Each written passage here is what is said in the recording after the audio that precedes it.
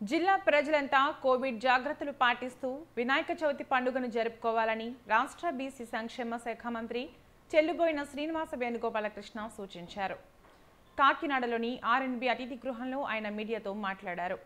ప్రస్తుత రాష్ట్ర పరిస్థితిని దృష్టిలో ఉంచుకుని ప్రజలందరూ బాగుండాలని కాంక్షిస్తూ ప్రభుత్వం బహిరంగంగా సామూహిక వినాయక చవితి వేడుకల నిర్వహణకు అనుమతులు ఇవ్వలేదన్నారు. కేంద్ర ప్రభుత్వం నియమ నిబంధనకు అనుగుణంగా రాష్ట్ర ప్రభుత్వాలు కోవిడ్ నియంత్రించడానికి కార్యక్రమాలు చేపడుతూ ఉంటే రాజకీయ పక్షాలు దీనిని వారికి అనుగుణంగా మార్చుకోవాలని సూచిస్తున్నారని కేవలం కులాన్ని మతాన్ని వాడుకుని రాజకీయ లబ్ధి పొందాలని ప్రతిపక్షాలు చేసే ప్రయత్నాలను ప్రజలందరూ గమనించాలని ఆయన కోరారు. ప్రజలు సుఖశాంతిగా ఉంటే వారి పట్ల ఆకర్షితులు కారని కేవలం మతాన్నో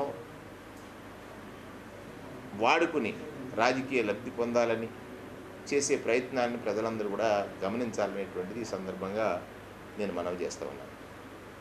ముఖ్యమంత్రి జగన్మోహన్ రెడ్డి గారు సర్వమతాలని సమదృష్టితో చూ చూస్తూ అన్ని మత విశ్వాసాలని గౌరవిస్తూ వారు తీసుకున్న ఇప్పటికీ ప్రతి చర్య కూడా ప్రపంచం అంతా చూసింది. ప్రభుత్వం ప్రభుత్వ అధినేత బాధ్యత ఏమిటి?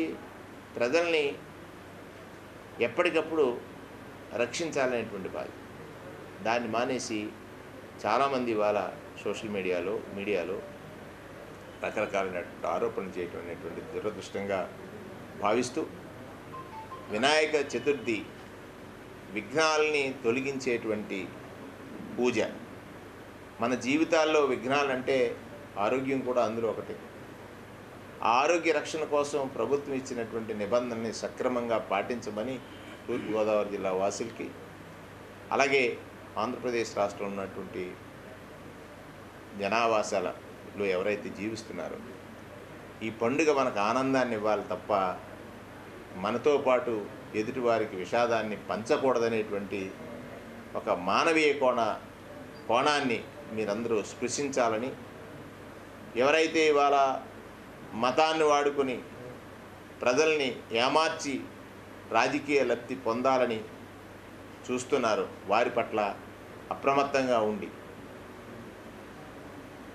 దేవుడు ఏ రకంగా మనల్ని కరుణిస్తున్నాడు? ఈ పాండమిక్ సిచ్యువేషన్ నుంచి మనం ఎలా బయటపడుతున్నాం? పడుతున్న తరుణంలో మళ్ళీ వాళ్ళ కేరళ రాష్ట్రం చూడండి. ఓనం వచ్చిన తర్వాత కేసులు ఎలా పెరిగాయో.